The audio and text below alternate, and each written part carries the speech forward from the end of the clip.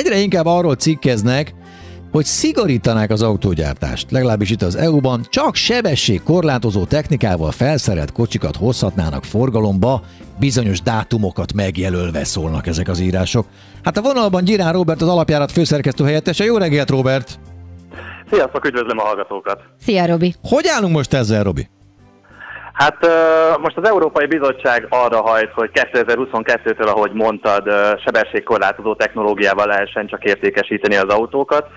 Um, hogyha belegondoltok, ezek a technológiák már most is elérhetőek akár egy középkategóriás autónál is, hát beszélünk itt a sávtartó asszisztről, a vészfékasszisztensről, um, igazából túl, sok, túl nagy technológiai előrelépés ezen a szinten nem lenne, ugye viszont a szabályozás, mivel kötelezővé tenné, merőben megváltoztatná a helyzetet. Uh-huh. Gondolok itt arra, hogy ezen túl, hogyha életbe lép ez a szabályozás, amit per pillanat csak ideiglenesen fogadtak el, akkor az úgy működne, hogy GPS adatok alapján mérné be az autó helyzetét és sebességét a, a rendszer.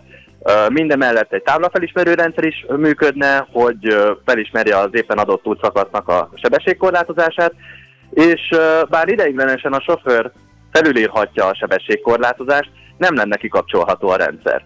És ami még, és ami még nagyon fontos különbség az eddigiekhez képest, hogy ugye, hogyha per pillanat rendelkezik egy autó ezekkel a technológiákkal, akkor az úgy csak úgy van, és az a sofőr kényelmét és biztonságát szolgálja, de 2022-től egy fekete doboz is kerülne az autóba, ami gyűjteni az információt arról, hogy a sofőr hol és hogyan vezet. Ez már majdnem olyan, mint egy önvezető autó.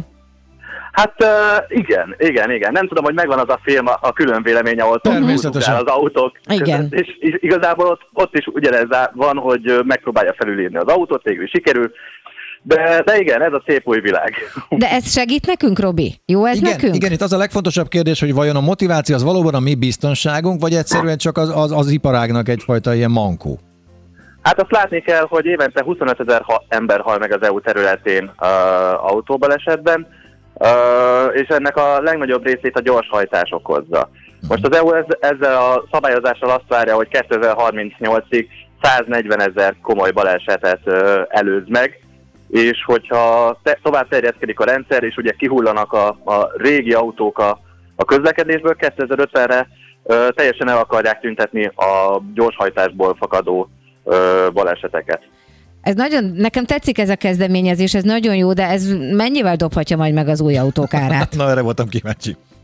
Hát igazából, mm, mint mondtam, ezek a technológiák már most is elérhetőek, igazából egy... Jó, egy, hát azt autó... tudjuk. E, igen. Csak és, azt újra csomagolják És sok majd. nulla van utánuk. Hát igen, igen, igen, de azért azt is látni kell, hogyha csak ilyen technológiával lehet eladni egy autót, akkor az nyilván le fogja nyomni ezeknek a technológiáknak az árát is, hiszen akkor automatikusan megnő a kereslet is. Uh-huh. Jó, uh-huh. hát nyilván nem önszántából az embereknek, de akkor iszonyatos megrendelést fognak kapni a gyártók, és nyilván nem annyiba fognak kerülni, mint ma. Az autógyártók nyilatkozgatnak már az ügyben egyébként? Uh, hát igazából én nem láttam, hogy egyelőre az autógyártók hogy állnak a dologhoz, legalábbis azon kívül, hogy ez nagyon-nagyon kérdésessé teszi a nagy teljesítményű autóknak a forgalmazását. Ugye hát, uh-huh. hogyha minden autónak maximum 130 km per órás végsebessége lehet, akkor mi értelme van ö, több száz lóerős autókat gyártani az Európai Unión ter- területén belül? Tehát itt el kell döntenie a gyártóknak, hogy melyik piacra milyen típusokat kínál. Lehet, hogy ez, ez, az, az egész azt fogja jelenteni, hogyha tényleg valóban életbe lép, és nem fognak, ilyen könny- nem fognak könnyítéseket alkalmazni a szabályozás során, hogy egész egyszerűen ezeket a nagy teljesítményű modelleket kiviszik Európából. De ugye mivel ez egy nagyon friss döntés az Európai Bizottság Persze. részéről, még, még nem igazán volt lehetőségük stratégiát kitalálni erre a gyártóknak. Világos. Jó, Robert, nagyon szépen köszönjük. Én köszönöm, hogy hívtatok. Sziasztok! Szia, Robi. szép napot! Gyirán Robertel méláztunk el az alapjárat főszerkesztőjettesével a fix végsebességen. Hát így, hölgyek urak, szép jövő!